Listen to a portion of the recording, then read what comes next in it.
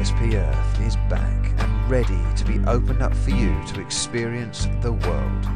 From London to Japan and New York to Holland, PSP Earth is celebrating the summer. So we thought we would squeeze a summer holiday edition before you get your hands on PSP Earth 0.5. So sit back and enjoy.